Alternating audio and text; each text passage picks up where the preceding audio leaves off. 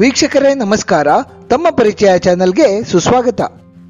ವೀಕ್ಷಕ ಬಂಧುಗಳೇ, ನಮಗೆಲ್ಲ ತಿಳಿದಿರುವಂತೆ ಎಂ ಎಂ ಹಿಲ್ಸ್ ಎಂದು ಕರೆಯಲ್ಪಡುವ ಮಲೆ ಮಹಾದೇಶ್ವರ ಬೆಟ್ಟವು ಚಾಮರಾಜನಗರ ಜಿಲ್ಲೆಯ ಕೊಳ್ಳೇಗಾಲ ತಾಲೂಕಿನಲ್ಲಿರುವ ಪ್ರಸಿದ್ಧ ಧಾರ್ಮಿಕ ಕ್ಷೇತ್ರ.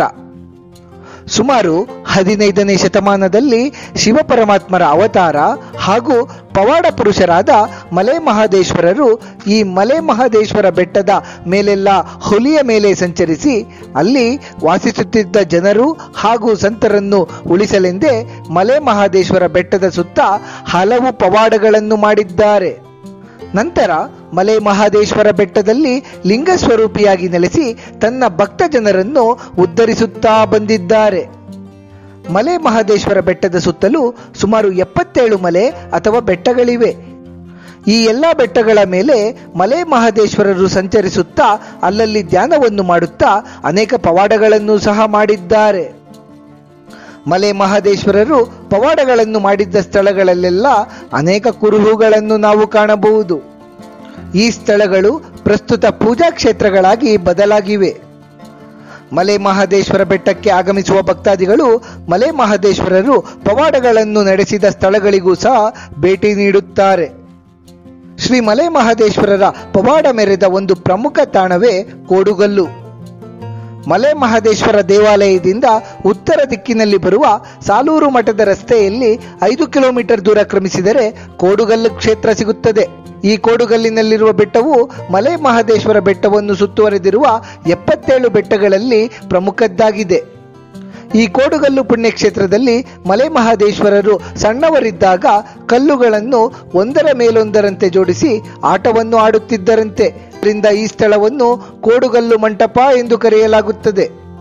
ಮಲೆ ಮಹದೇಶ್ವರರು ನಡೆಸಿದ ಅನೇಕ ಪವಾಡಗಳಲ್ಲಿ ಶಿವಶರಣೆ ಸಂಕಮ್ಮರನ್ನು ಆಕೆಯ ಪತಿಯಿಂದ ರಕ್ಷಿಸಿದ ಪವಾಡವು ಪ್ರಮುಖದ್ದಾಗಿದೆ.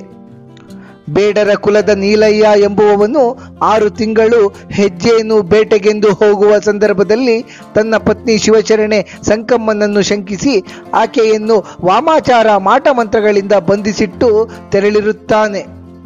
ಆಗ ಶಿವಶರಣೆಯಾದ ಸಂಕಮ್ಮರು ತಮ್ಮ ತವರು ಮನೆಯ ದೇವರಾದ ಮಲೆ ಮಹದೇಶ್ವರರನ್ನು ನೆನೆಯುತ್ತಾರೆ. ಆಕೆ ಮಹದೇಶ್ವರರನ್ನು ನೆನೆಯುವಾಗ ಮಲೆ ಮಹದೇಶ್ವರರು ಕೋಡುಗಲ್ಲಿನ ಸಮೀಪವೇ ಧ್ಯಾನವನ್ನು ಮಾಡುತ್ತಿರುತ್ತಾರೆ. ಸಂಕಮ್ಮರು ನೆನೆದ ತಕ್ಷಣವೇ ಈ ಕೋಡುಗಲ್ಲು ಪುಣ್ಯಕ್ಷೇತ್ರದಿಂದ ಅವರು ಹೊರಡುತ್ತಾರೆ. ಅಲ್ಲಿನಿಂದ ಸಂಕಮ್ಮನಿರುವಲ್ಲಿಗೆ ತೆರಳಿ, ಕೋರಣ್ಯ ನೀಡಮ್ಮ, ಕೋಡುಗಲ್ಲ ಮಹಾದೇವರಿಗೆ ಎಂದು ಭಿಕ್ಷೆಯನ್ನು ಕೇಳುತ್ತಾರೆ. ಆಗ ಬಂಧನದಲ್ಲಿರುವ ಸಂಕಮ್ಮರು ನಿನಗೆ ಹೇಗೆ ಭಿಕ್ಷೆ ನೀಡಬಹುದು? ನಾನೀಗ ಬಂಧನದಲ್ಲಿದ್ದೇನೆ ಎಂದು ತಿಳಿಸುತ್ತಾರೆ. ತಕ್ಷಣವೇ ಮಲೆ ಮಹದೇಶ್ವರರು ಸಂಕಮ್ಮನನ್ನು ಸಂಕೋಲಗಳಿಂದ ಬಿಡುಗಡೆ ಮಾಡುತ್ತಾರೆ.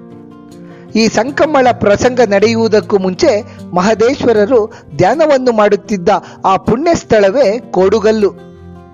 ಈ ಪ್ರಸಂಗದ ಪರಿಣಾಮವಾಗಿ ಈ ಕೋಡುಗಲ್ಲು ಪುಣ್ಯಕ್ಷೇತ್ರ ಪವಾಡದ ನೆಲೆಯಾಗಿದೆ. ಸಹಸ್ರಾರು ಸಂಖ್ಯೆಯಲ್ಲಿ ಭಕ್ತಾದಿಗಳು ಈ ಕೋಡುಗಲ್ಲು ಬೆಟ್ಟಕ್ಕೆ ಬಂದು ದರ್ಶನವನ್ನು ಪಡೆದು ಪುನೀತರಾಗುತ್ತಾರೆ. ಇಲ್ಲಿಗೆ ಬಂದು ದರ್ಶನವನ್ನು ಪಡೆದರೆ ಭಕ್ತರ ಕಷ್ಟ ಕಾರ್ಪಣ್ಯಗಳು ದೂರಾಗುತ್ತವೆ ಎನ್ನುವ ನಂಬಿಕೆ ಇದೆ. ಕೋಡುಗಲ್ಲು ಕ್ಷೇತ್ರದಲ್ಲಿ ಪವಾಡಗಳನ್ನು ಮಾಡಿರುವ ಮಾದಪ್ಪ ಸ್ವಾಮಿಯನ್ನು ಕೋಡುಗಲ್ಲ ದೇವ ಮಾದೇವ, ಕೋಡುಗಲ್ಲ ಮುನಿಯೇ ಮಹಾದೇವ, ಕೋರಣ್ಯ ನೀಡಮ್ಮ, ಕೋಡುಗಲ್ಲ ಮಾದೇವನಿಗೆ ಎಂಬಿತ್ಯಾದಿ ನಾನಾ ಪದಗಳಿಂದ ಭಕ್ತಿಭಾವದಿಂದ ಹಾಡಿ ಭಕ್ತಾದಿಗಳು ಪೂಜಿಸುತ್ತಾರೆ.